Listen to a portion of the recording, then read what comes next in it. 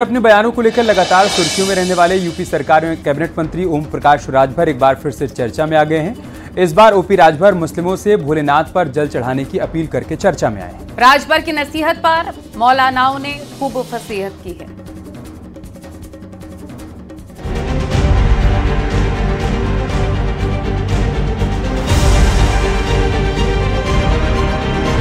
अल्लाह ईश्वर तेरो नाम सबको सम्मत दे भगवान।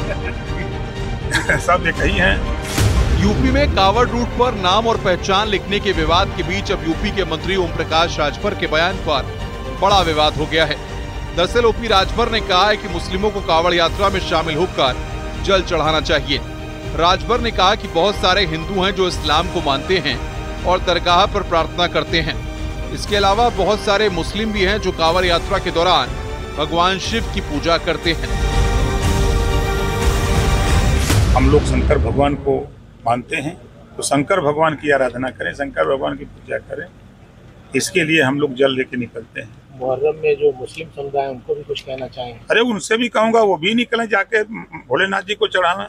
अल्लाह ईश्वर तेरो नाम सबको सम्मत दे भगवान। सब एक ही हैं। ओपी राजभर ने यह बयान गंगा जमनी तहजीब को आगे बढ़ाने की सोच के साथ दिया था।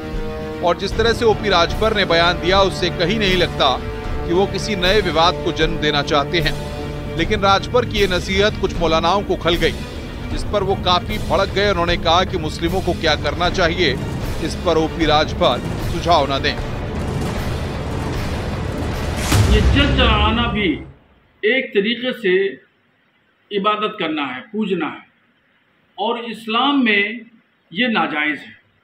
इसलिए उनको इस तरह के मशवरे नहीं देना चाहिए कि जो शख्स इसका मुतहमिल न हो और जो उस मज़हब में उसके मान, जिस मज़हब का वो मानने वाला है, वो मज़हब उसकी इजाज़त न देता।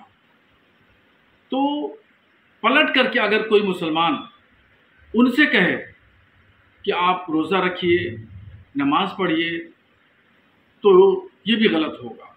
राजभर साहब जो है वे शिकस्त पा के बौखला गए हैं, उल्टे सीधे बयान दे रहे हैं। इससे वजह ये है कि गंगा जमनी तहजीब को तार तार करना चाहते हम अगर ये कहने लगे कि ईश्वर और खुदा एक है तो तुम नमाज़ पढ़ना हो ऐसे नहीं होगा। हज करने के लिए हम कहने लगे, या अल्लाह के लिए कुर्बानी करो तो वो नहीं कर सकते, उनके यहाँ जी भक्तियाँ मना है, हिंदू धर्म में। और हमारे यहाँ मंदिर जो है, कुर्बानी करना एक सवाब का काम है। तो इसी तरीके से ईश्वर और अल्लाह एक है।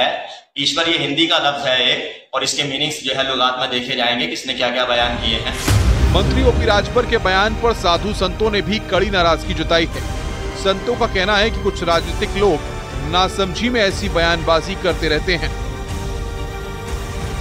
ये नेता लोग तो राजनीतिक बोलते हैं। इनको सहूर भी नहीं है कि राजनीतिक फ़ायदा के लिए भी क्या बोलना चाहिए। ये लोग तो बेसहूरी में बोल जाते हैं। ओम प्रकाश को ऐसा नहीं बोलना चाहिए।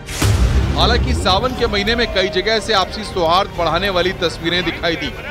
काशी से उज्जैन तक ऐसी तस्वीरें भी सामने आई हैं, जिसमें हिंदू और मुस्लिम मिलकर त्यौहार मनाते दिखे।